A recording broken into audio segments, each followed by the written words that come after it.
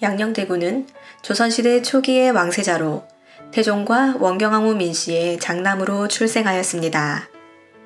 양녕대군은 세자가 되기 전부터 태종과 원경왕후에게는 눈에 넣어도 아프지 않은 자식이었는데 태종과 원경왕후의 세 아들들이 줄줄이 요절하여 상심이 크던 중 겨우 다시 얻은 사남이었으므로 그가 형들처럼 요절하지는 않을지 걱정하며 끔찍이도 아꼈다고 전합니다.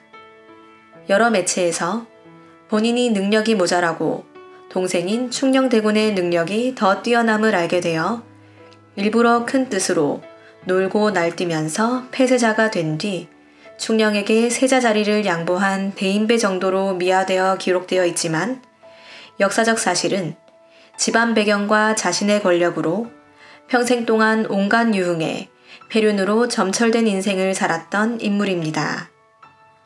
남편 있는 여성을 빼앗아 아이까지 낳고 큰아버지이자 이대 임금인 정종을 모신 기생을 농락했으며 매형의 애첩까지 넘보았습니다. 양반댁 교수와도 강제로 사통했으며 이 과정에서 세자의 외도를 도운 어린 뇌관 등이 차명을 당했습니다. 심지어는 셋째 아들의 애첩까지 빼앗았고 이 충격으로 셋째 아들은 심화병을 얻어 살인까지 저지르기도 하였습니다. 또 세자와 사적인 친분 관계를 맺은 구종수 사명제와 악공 이호방, 서방색 진포 등이 줄줄이 죽어나기도 했고 심지어 어릴 적 자신을 금이야 오기야 키워준 외삼촌 두 명을 지목, 저들을 죽여야 한다는 주청을 올리기도 했습니다. 태종이 어리를 내쫓아 양녕대군은 장문의 편지를 올려 아니 전하의 여인들은 다 궁궐로 불러들이면서 왜 신의 여인들은 다 쫓아내느냐고 직격단을 쏘기도 했던 인물이기도 합니다. 오늘은 여색으로 한평생을 보낸 양녕대군의 여인들을 하나씩 소개해 드리도록 하겠습니다.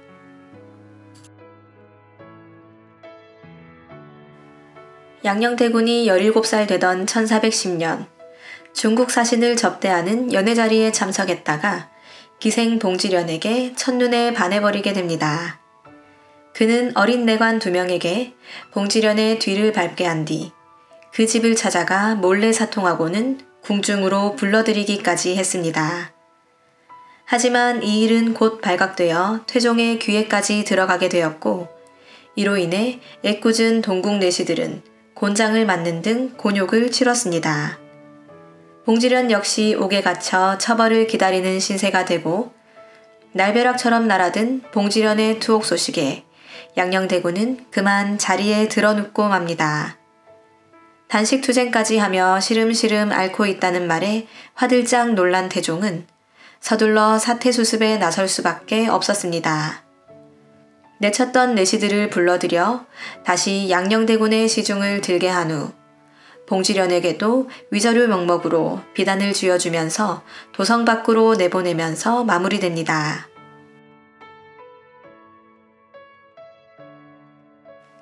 사원부에서 아래길 동궁 북쪽 담 밑에 작은 지름길이 있으니 반드시 몰래 숨어서 드나드는 자가 있을 것입니다. 임금이 동궁의 어린 황관을 불러들여 궁문하게 하니 과연 예빈 씨의 종 조덕중 등이 몰래 평양기생인 소행을 동궁에 바친 지 이미 여러 날이 되었다고 한다. 1413년 20살이 된 세자는 비선 측근들을 시켜 동궁의 개구멍을 파고 평양기생 소행을 불러들여 며칠 동안 사통하는 일을 벌이게 됩니다. 이 일이 알려지게 되자 태종은 관련자들을 문책하고 곤장을 쳤고 심지어 세자의 스승인 병계량 등에게도 대체 무엇을 가르쳤느냐라고 문책하기도 하였습니다. 하지만 이번에도 세자는 단식투쟁으로 맞서게 되고 어머니인 원경왕후 민씨가 달래고 얼으면서 당부의 말을 했지만 끝까지 말을 듣지 않았다라고 합니다. 태종의 달램과 꾸짖음에도 불구하고 양녕대군의 방탕한 생활은 바뀌지 않았고 이미 14세에 혼인하여 부인까지 있는 상황에도 양녕대군의 여색 탐하기는 끝이 없었습니다.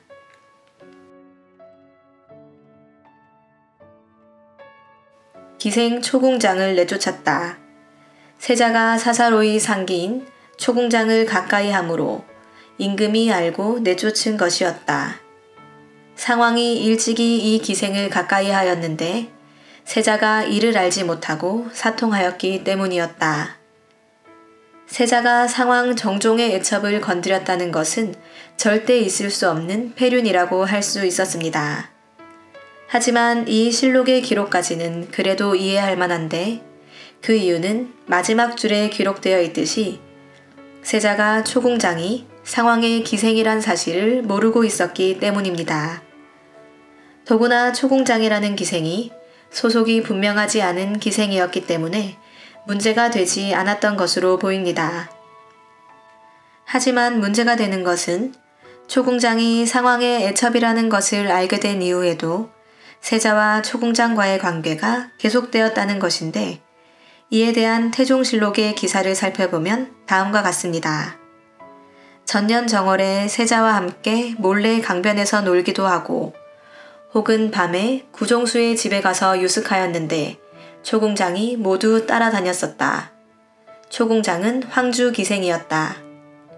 이 기사를 보면 세자는 이후에도 이법파, 구종수, 이호방 등과 함께 초공장과 같이 어울린 것으로 보이는데 이들은 모두 한양의 놀기를 좋아하는 패거리였습니다. 지금으로 말하자면 재벌 2세쯤 되는 친구들로 초공장이 항상 함께 했다는 것으로 보아 세자는 초공장을 꽤나 좋아했던 것으로 보입니다. 여러 내용으로 볼 때 세자의 생활은 생각보다 문란했던 것으로 보이는데 몰래 궁궐을 넘어온 구종수, 이호방 등과 함께 몰래 궁궐을 빠져나가 밤새도록 기생을 데리고 술 마시고 놀기를 계속했던 것입니다. 나중에 구종수와 이호방 등은 귀양 갔다가 결국은 처형되고 마는데 세자가 불의한 짓을 저지르게 했으니 반역이라는 죄목이었습니다.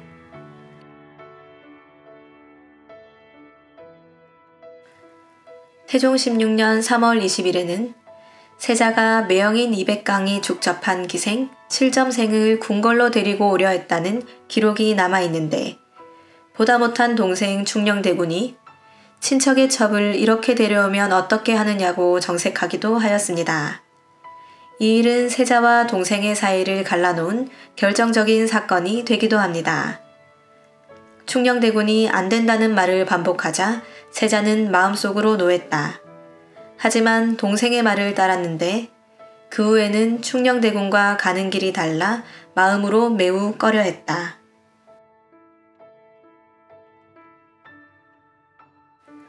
(1417년 4월 23일 24일) 태종실록 기록을 보면 세자의 외도를 도운 소친시 이기수와 진포를 차명에 처하는 등 관련자들을 처벌했다는 기록이 등장합니다. 즉, 세자의 곁에서 알랑거리던 진포라는 인물이 세자에게 바칠 예쁜 여자가 있느냐고 묻자 이기수가 군기시 관리를 지낸 방유신의 손녀를 추천하게 되었고 이를 들은 세자는 그 집을 두 번이나 찾아가 기어코 방유신의 손녀와 강제로 사통하고 새벽에 궁궐로 돌아왔다고 전합니다. 이 사건이 발각되자 태종은 이기수와 진포를 차명에 처했는데 태종실록 17년 4월 24일 기사에서는 이기수의 차명에 불만을 품은 세자가 수업 거부 투쟁을 벌였다라고 전하고 있습니다.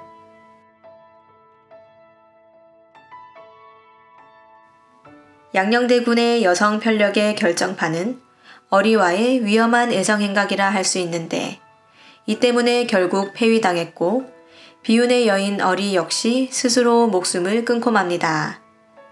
이 사건은 1416년 1월 어느 날 세자의 총애를 받던 악공 이호방이 몰래 동궁에 들어가 전 중추부 부사 곽선의 첩인 어리의 자색과 재주가 뛰어나다고 제보함으로써 시작되었는데 태종 17년 어리가 친척들을 만나기 위해 도성으로 들어왔다는 소식을 들은 양녕대군은 비단 주머니를 징표로 내주며 어리를 데려오라고 명령하였습니다. 세자가 보고 싶어 한다는 정가를 받은 어리는 남편이 있는 몸이라며 거절하였는데 하지만 그날 저녁 양녕대군은 환관들을 거느리고 어리가 머물고 있는 집으로 달려가게 됩니다. 세자께서 납셨다는 환관의 정갈에 집주인 이승이 나타나 엎드렸는데 이승은 곽선의 양아들이었습니다. 양녕대군이 어리를 내놓으라고 윽박지르자 이승은 마지못해 어리를 내보내게 되었으니 양녕대군은 어리에게 한눈에 깊이 반해버렸고 그 길로 강제로 어리를 데리고 함께 동궁으로 들어가게 됩니다. 곽선은 양녕대군의 서슬에 눌려 어리를 빼앗기고도 어찌할 수도 없는 일이었습니다. 하지만 양녕대군은 어리를 궁에 들인 것을 한 달도 되지 않아 태종에게 들키고 말았으니 태종은 세자 주변의 간신배들을 엄벌에 처하고 어리를 출궁시키게 됩니다. 그때 세자는 어리의 인생이 가엽다며 제대로 먹지도 않고 잠도 자지 않았는데 이를 딱하게 여긴 장인 김한로가 자신의 집에 어리를 숨겨주었고 다시 미래를 즐기게 됩니다. 하지만 얼마 되지 않아 어리가 임신을 하게 되면서 그 존재가 결국 발각되고 말았는데 뒤늦게 이 사실을 안 태종은 노발대발할 수밖에 없었습니다. 태종에게 호된 질책을 받고 어리까지 쫓겨나게 되자 자중을 해도 모자랄 판에 양녕대군은 태종에게 협박에 가까운 항의 서한을 보냈으니 아바마마도 첩이 많으면서 왜 내가 축첩하는 것은 안 되는 것입니까? 라고 따지게 됩니다. 세자는 이에 한 발 더 나아가 전하께서는 어찌 스스로에게 반성을 구하지 않으시냐라며 직격탄을 날게 되는데 결국 그날 밤 태종은 대신들을 모아놓고 세자폐위를 발표하게 됩니다. 처음엔 양녕대군의 아들을 세자로 올릴까 했었으나 후환이 생길까 하여 셋째 아들 충녕대군을 세자로 삼게 됩니다. 이 스캔들로 조정은 발칵 뒤집히고 말았는데 어리가 사대부의 첩이라는 점이 도덕적인 면에서 큰 문제가 된 것입니다. 결국 양녕대군을 도운 김한로를 유배시키고 주변에서 세자의 비행을 도운 수발 인력들은 모두 죽음을 맞이하게 되었습니다. 폐위를 당한 양녕대군은 유배를 가게 되었는데 유배를 가서도 기생을 부르는 등의 망나니 짓을 했고 유배지에서 도망쳐 버리기도 합니다. 한편 얼굴이 예쁘다는 이유로 강제로 남편을 떠나 궁궐에 숨어 살던 어린은 유배의 길에 올랐다가 이 상황을 비관하며 결국 스스로 목을 메고 자결을 하고 말았는데 왕실이 엉망이 되고 양녕대군이 세자에서 쫓겨나는 상황에 이르자 어린은 매우 자책하며 괴로워했다고 전합니다. 양녕대군의 부적절한 행각은 폐세자 이후에도 계속되었으니 1422년에는 양녕이 폐위되어 광주로 쫓겨난 후에도 담을 넘어 고을기생 두 사람을 훔쳐 두 전하를 곤혹스럽게 만들었다라고 기록하고 있습니다.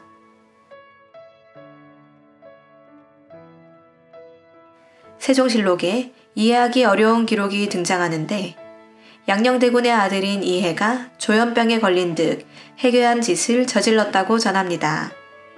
그 이유에 대해 실록에서는 이렇게 부연 설명하고 있는데 다음과 같습니다. 이해는 아비에게 애첩을 빼앗긴 뒤 심화병을 얻어 주정을 부리다 사람을 죽인 까닭에 사실인즉 양녕대군의 아들 이해가 아버지에게 첩을 빼앗기고 그 충격에서 벗어나지 못해 사이코패스와 같은 행동을 했던 것이었습니다. 1447년 10월 3일 아들 이해가 술주정을 하다가 살인을 저질러 유배형에 처가였다고 기록되어 있고 그 이후에도 무단으로 가출해서 금강산에 다녀오더니 갑자기 승려가 되겠다고 상투를 제 스스로 자른 채 거리를 돌아다녔다는 이해하지 못할 기록들이 전해집니다. 그 무렵 노비 한 명을 또 죽이는 등 해괴한 행동을 일삼았고 1451년 2월 13일 이해가 쇠못으로 여종을 지르고 그 집에 불을 지른 뒤 도망친 일도 벌어졌습니다. 우여곡절 끝에 집으로 돌아온 이해는 이번에는 자기 아들을 역시 쇠못으로 찔러 죽이려 했다고 하니 이해는 결국 두 달 뒤 목을 매달아 스스로 목숨을 끊게 됩니다.